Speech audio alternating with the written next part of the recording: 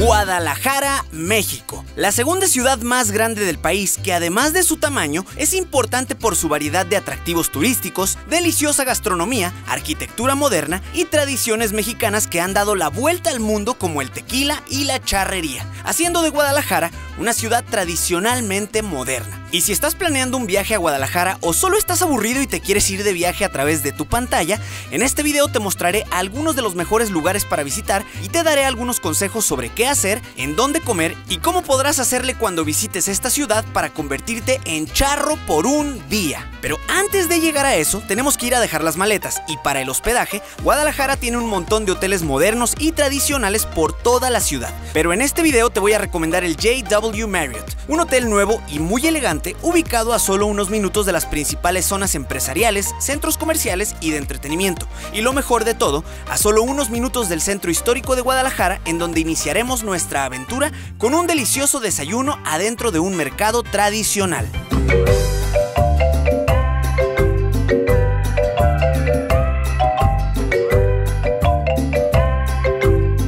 Amigos, pues ya nos están empezando aquí a repartir nuestros platillos que vamos a degustar esta mañana aquí en Guadalajara. Me encuentro mi estimado Fabián Delgado. Estamos aquí en Unites. Tú eres Unites. el chef creador de este concepto. Así es. Platícame un poquito, estamos en un mercado muy tradicional, muy mexicano. ¿De qué trata esto de Unites? ¿Qué es lo que le ofreces a, a los turistas y a los locales? Ofrezco para empezar nuestra comida de una manera muy asequible, ¿no? Eh, Estamos en un mercado que se llama Cuarto Centenario. Y platícame en cuanto a los platillos, ¿cuál es el concepto? ¿Es, es comida eh, de Jalisco? ¿Es comida mexicana en general? El rollo con Unites era jugar con toda la gastronomía que hay en la, en la zona Jalmich, Que son 11 municipios que coinciden antropológicamente entre Jalisco y Michoacán. Por ejemplo, este es, es, una, es una receta basada en un mole de, de mi tía Félix, que es una de las personas más importantes en mi vida. Esta es una versión que hicimos de un pipián jalisquillo y esta es una quesadilla de hongos con flor de calabaza.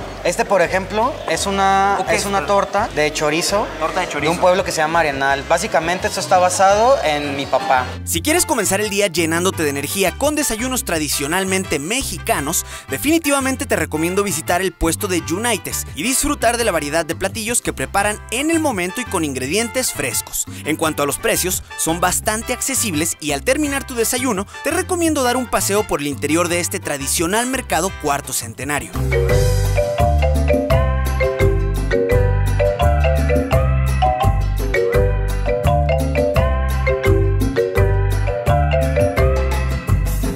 Chuy, ¿Qué ba- tal? Barriga llena, corazón contento. Así es. Pues ya estamos listos entonces. ¿Qué sigue el día de hoy para conocer, recorrer Guadalajara? Mira, no existe una manera más tradicional que recorrer Guadalajara que a bordo de una calandria. Esos carruajes que desde la época ancestrales han venido siendo el servicio de transportación de la ciudad. Subámonos, ahorita les, les platicamos más. Oigan, pues qué emoción. Ya estamos, ya comenzamos aquí el recorrido en la Calandria. Eh, está, está muy romántico esto. Si ustedes quieren hacer, no sé, un viaje en pareja o a lo mejor para la boda. Ese no es el caso. Aquí en, eh, queremos aclarar, mi buen Chuy y yo venimos en plan de cuates. ¿A dónde vamos ahorita? Me estás haciendo algo de la universidad. Mira, vamos a recorrer parte de lo que es el centro histórico y la zona Chapultepec. Es una zona que a mí me encanta porque pues, es el corazón de Guadalajara. Platícame esto que estamos viendo aquí que es, está muy bonito el tema arquitectónico. Dice Museo de las Artes. Así es, que es también la rectoría de la Universidad de Guadalajara, que era originalmente la Universidad de Guadalajara. Que, o sea, a mí me encanta. Esto está incluso, digo, se disfruta mucho de la calandria, pero también darte un paseo aquí caminando delicioso. Lo bonito que me encanta de aquí de Guadalajara es que pasas de una zona de la ciudad a otra y tienes lugares muy modernos como la zona de Andares, la zona de las Américas, donde están, pues que es como más financiero. De repente tienes el centro histórico y aquí, pues una onda también como muy de la influencia europea de la época colonial. Los paseos en Calandria son una actividad turística muy popular en Guadalajara, en el cual los turistas, novios, amigas o exnovios pueden recorrer algunos de los sitios y avenidas más bonitos de este destino y hacerlo con estilo a bordo de estas calandrias, que son una especie de carreta con diseños coloridos y tienen la opción de elegir la calandria clásica, que es jalada por un caballo, o su versión más moderna y eco-friendly, la calandria eléctrica. Mi buen Jesús, tú eres de aquí de Guadalajara, orgulloso tapatío. Platícanos, ¿qué nos puedes contar así de, de datos curiosos sobre Guadalajara o de la historia? Guadalajara se fundó un 14 de febrero de 1542. El vocablo de Guadalajara es árabe, Guadihat Adjarat, que significa río que corre entre piedras o río de la fortaleza. Te van a empezar a llegar un montón de personas que te van a decir, te viene el video de Alex Tienda y este, y qué chido y tal. Entonces, pues bueno, prepárate porque te van a venir a pedir fotos y te van a dar mucho cariño y mucho amor. Y no espero menos de ustedes. De verdad, se los recomiendo bastante. Es un paseo muy bonito. Por último, ¿cuánto cuesta? Vale 500 pesos. 500 pesos, 5 personas, 500 pesos, ahí lo tienen, 100 pesos cada quien, se reparten, vale mucho la pena y pues no es nada más este dar como el paseo de, ah, pues el recorrido, es, es una experiencia que pueden disfrutar ahí este para incluso conocer más sobre la historia que les va a platicar Jesús. Y qué bueno que no te deje contarle en el video, porque si no la gente va a decir, pues ya me la sé, y no, otra vez, eso ya me lo sabía. Cuando vengan, aquí Jesús les va a contar la historia, yo por lo pronto me despido. Muchas gracias, Jesús. Al terminar nuestro paseo en Calandria, el buen Jesús nos dejó en el corazón del centro histórico de Guadalajara, un lugar fascinante para explorar con su arquitectura de estilo colonial y calles empedradas. En el centro histórico, al ser el corazón de Guadalajara, se encuentran algunas de las atracciones más populares de la ciudad, como la catedral, el hospicio Cabañas, que es patrimonio de la humanidad, y el Teatro de Gollado. Pero además de museos y edificios históricos, también hay muchos lugares para beber y probar algo de la gastronomía local, como por ejemplo los famosos tejuinos para estas épocas de calor. Este es el famoso tejuino.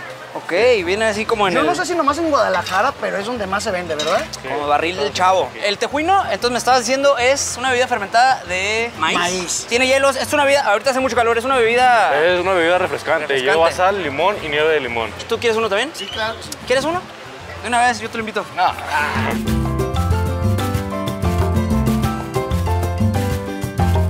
Entre museos y sitios de interés en el centro histórico de Guadalajara, uno que definitivamente recomiendo no te pierdas durante tu viaje es el Museo Cabañas de Guadalajara. Uno de los lugares históricos más importantes no solo de Guadalajara, sino de todo México. Y es que como dato curioso, este museo se encuentra en lo que hace muchos años era un orfanato cuenta la historia de los niños que vivieron allí durante la Revolución Mexicana. Además de que sirvió para atender a las víctimas de la peste del siglo XVIII, que fue algo similar a lo que hemos vivido en el mundo durante estos últimos dos años con el virus que no puedo mencionar para que no me desmoneticen el video. Pero volviendo al Museo Cabañas, en su interior podemos echar un vistazo a un periodo oscuro de la historia de México. Pero además de la historia, también nos muestra una impresionante colección de murales del artista mexicano José Clemente Orozco. Lo más importante de José Clemente Orozco, te voy a decir, si tú ves sus pinturas, no son tan estéticas y bonitas como las de Diego Rivera, pero José Clemente Orozco solo tenía una mano. Entonces imagínate a sus sesenta y tantos años subir andamios todos los días con una sola mano y luego no te puedes agarrar para estar pintando, pues no te das el tiempo de pintar bonito, pero pinta ideas poderosísimas, universales, que hasta nuestro día cumple vigencia.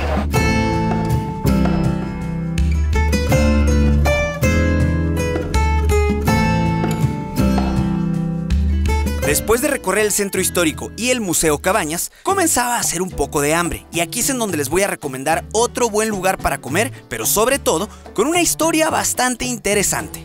Estamos ahora, ah, yo siento, En el siento, sí. de una cantina. Y aparte, o sea, vienes tú en, en- no podría decir caracterizado porque eso suena más como vienes disfrazado. En realidad esto es pues, parte de la cultura charra y, y, pues bueno, tú eres charro. Entonces sí siento que me estoy regresando a la época de la, de la revolución y, y hace, no sé, unos 100 años. Y esto ya tiene más o menos esa- ese tiempo de existir. Esta es la cantina más antigua de Guadalajara. Así es. ¿Cómo se llama? La fuente. Ahora, cuando, cuando hablamos de cantinas, mucha gente esta percepción de que es el lugar de mala muerte, en donde puro borracho tirado y, este, y un ambiente muy pesado. Yo aquí me estoy dando cuenta que pues, hay desde parejas, me comentabas ahorita no es hora, pero hay ciertos horarios en que estudiantes de aquí alrededor se vienen para acá y te puedes encontrar todo tipo de gente, desde un político hasta un periodista, hasta un youtuber, pero hay mucho, mucha gente. ¿Qué ambiente se vive aquí en la cantina La Fuente? Toda cantina es, al final es como una especie de gremio o club social. Un día que toca la sinfónica, terminan de tocar los de la sinfónica y se vienen aquí todos de smoking Órale. a echar un traguito antes de irse cada quien a descansar. No es venir a ponerte borracho, es nada más como que el traguito, bajar Claro. el estrés y salir. Por lo pronto vamos a pedir, ¿ya pedimos unas tortitas o qué? ¿Qué más hace? Vamos a pedir un- algo de comer, algo más sustancioso para poder aguantar el día. Sí, que estamos a la mitad y ahora viene después de esto la charrería. No hay que comer tanta torta porque si no el caballo me va a marear. Vamos para allá. Saludcita.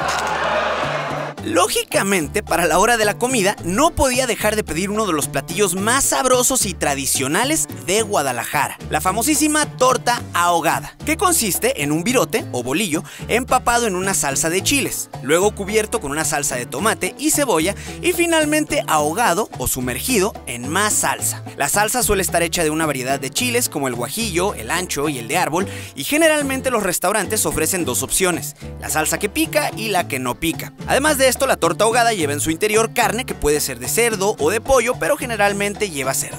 El plato se sirve tradicionalmente con frijoles refritos, cebolla picada y gajos de limón, y cuando vengan a Guadalajara, ustedes podrán comer lo que más se les antoje, pero la tradicional torta ahogada de Guadalajara es algo que definitivamente no se deben de perder.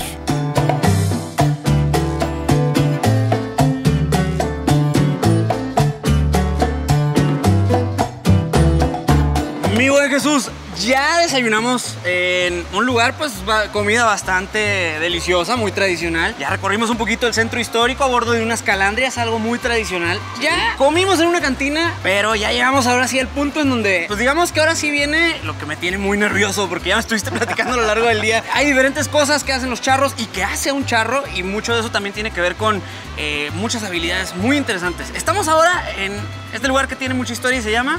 Estamos en Lienzo Charro, Jalisco. Ok, ¿y qué vamos a hacer? Estoy, estoy muy emocionado, la verdad. Yo creo que ya se nota y me lo pueden eh, detectar fácilmente ustedes que me conocen. Lo único que me preocupa es, veo que todos están, la verdad, muy, muy vestidos ad hoc a lo, que, a lo que es la actividad. Yo estoy preocupado porque vengo, no, no pensé al salir de mi casa que tenía que venir, pues, un poquito más. Pues, pero mira, todos tienen solución y estás en casa de Charros de Jalisco, entre charros. Ok. Y pues aquí nos encargaremos de que parezcas y luzcas Vámonos. y empieces a hacer todo un charro. Estoy, ¿Listo? estoy bien emocionado, me siento bien feliz de portar este traje. Pues ahorita vamos a, que me presten aquí algo para estar más en el momento y poderles compartir esta bonita tradición y esta bonita cultura de México.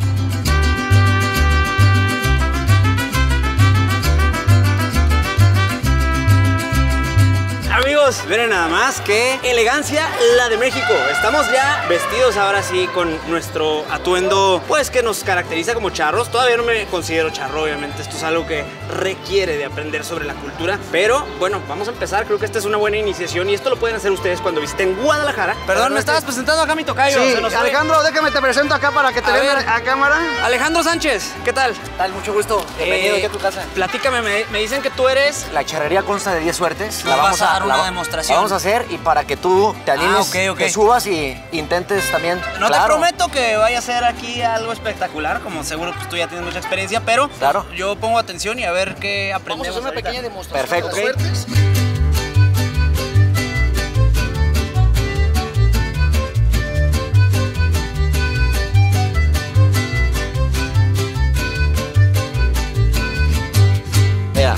Antes de que te subas, lo primordial es Firmar, este... firmar por si te caes. Si que caigo, que va. no, no te no. creas. No, no, no. No, no, no nos vamos a caer. No, no te vas a caer. Pero mira, lo que, lo que vamos a hacer es, este caballo ya sabe perfectamente que en cuanto tú le des hacia la derecha, tú le vas a estar dando la derecha, solito va a empezar a dar las vueltas. Primero me tengo que subir. Primero te subes por el lado izquierdo. ¡Vámonos! Ok. Ay, Aquí tú ahí le... ahí No que- hay banquitos Ahí que, para- llegue, ahí que llegue. una vez que Ok. llegué, ya Ahora estamos sí. del otro lado. Vámonos. Pues ahí ya llegaste.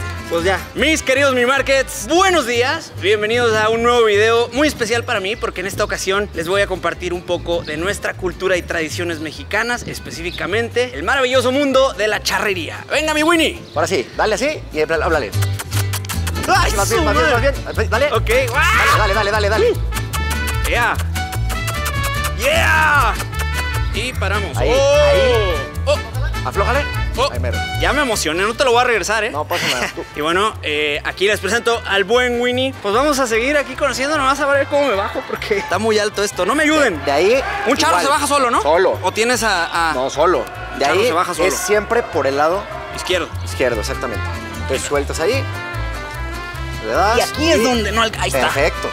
Eso. Faltó darle la, la punta cuando vas corriendo y, y te. Eso y- ya, Ya luego, después. con calma. Sabes que ahorita tengo un compromiso.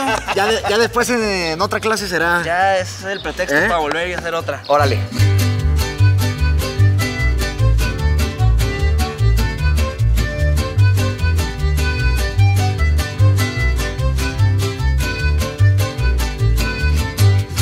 Mi estimado Jesús, no puedo estar más agradecido contigo, no nada más la bonita experiencia que tuve la oportunidad de vivir estando aquí en Guadalajara. Esto es algo de lo que ustedes pueden hacer cuando visiten como turistas la ciudad de Guadalajara. Si ya viven aquí y no lo han hecho como en mi caso, háganlo, vale mucho la pena y sobre todo te hace conocer mucho más nuestra cultura mexicana. Ya para cerrar este video, ¿qué es lo que hace que tú estés contento de platicarme a mí, de contarle a la gente y de invitarlos a que vengan y vivan esta experiencia aquí en Guadalajara? Mira, para mí ser charro es poder montar. Y no me refiero solamente a un caballo, tus La vida es como una charreada.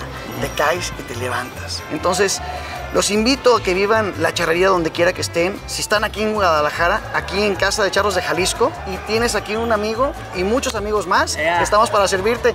Y a estos señores del mariachi, Nos despedimos con una canción. pues una muy propia de nuestra música mexicana, que es El Herradero, justamente, donde inició la fiesta charra. Eso. ¿Te late? ¿Cómo se hace? Échenle, muchachos. Échenle, muchachos. Échenle, Jorge. muchachos. Jorge. Amigos, nos despedimos con esta bonita música mexicana. Mil gracias por acompañarnos. Vente para acá, ¡Viva México! Desde Mérida hasta Tijuana, mi amigo. ¡Ea!